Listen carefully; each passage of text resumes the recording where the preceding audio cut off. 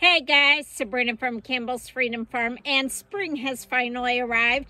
But with spring comes some crazy weather. It could be 70 degrees and sunny, and the next moment it could be downpouring and just uh, freezing everywhere. So, can we plant some flowers? Oh, yeah.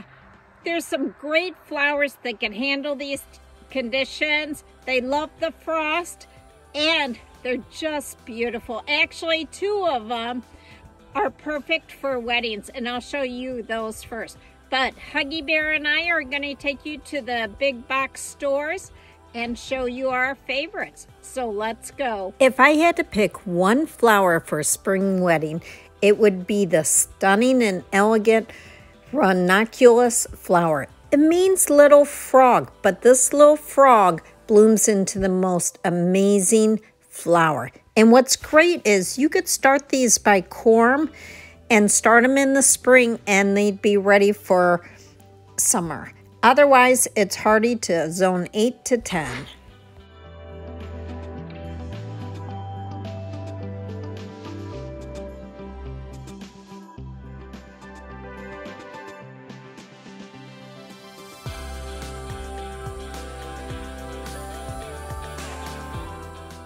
The Germans had a belief that the first girl to find a primrose on Easter would marry that year.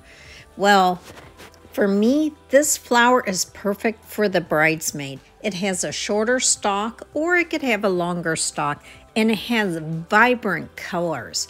And what's great is you could keep these in a container and wrap them and the bridesmaid could take them home as a memory because this flower is a perennial.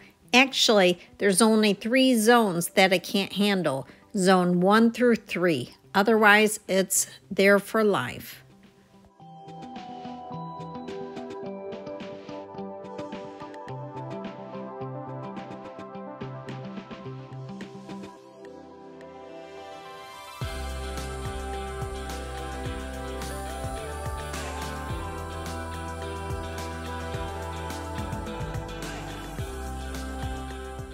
The English daisy reminds me of a hippie flower. It's so beautiful, and every evening it closes its petals, and every morning they open them up and show this beautiful eye. And it always comes in such vibrant colors. Now, this is hardy between zones 3 to 9, and it'll bloom from early spring till when summer hits and it starts getting hot. Okay, the next plant is the pulmonaria or lungwort plant, and it has beautiful pastel colors. But what's great about this perennial is that it's amazing foliage. It has spotted leaves, so it just will give and give and give. Great for containers in the shade or in the ground. This is hardy for zones 2 through 8 want baby blue flowers, then you want to look at the lobelia plant. It's either compact plant, which is great for containers, or a tall variety. If you want some that looks similar but is a perennial in zones 4 to 8, then look at the phlox. It has the same baby blue flowers, but this also has a variety of other colors and it's always guaranteed to come back.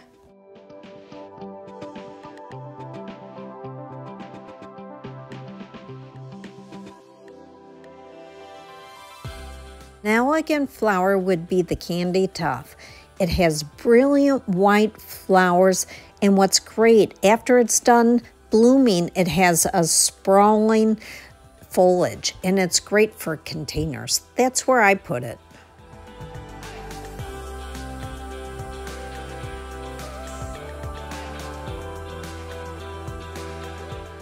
In history, one of the first cut flowers is the dianthus, and it can be either an annual, a perennial in zones 4 to 8, or a biennial. I always bring them in in the winter, but they will bloom in the spring and in the fall.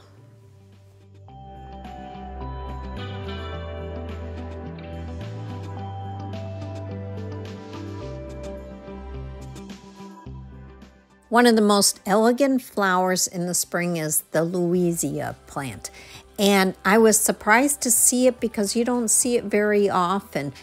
But this is native to North America in the rocky areas, and it's hardy between zones 3 to 8, but it hates wet feet. But these brilliant Easter colors means rebirth and renewal, which is perfect for Easter.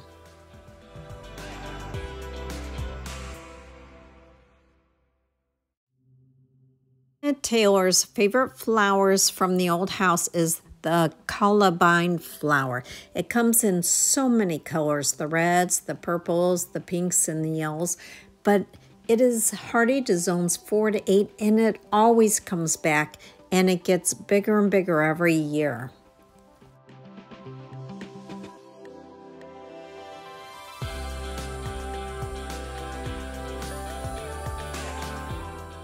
In the Victorian times, in the language of flowers, the sea thrift flower meant sympathy. But I'm not sure why because these beautiful wider purple flowers are so cute.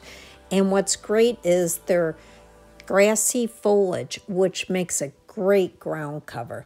And it's hardy to zones 4 to 8. It's not spring if it doesn't have pansies or violets.